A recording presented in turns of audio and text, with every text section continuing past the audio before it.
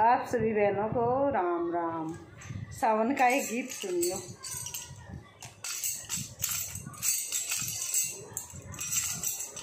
कड़वी कचरी मा मेरी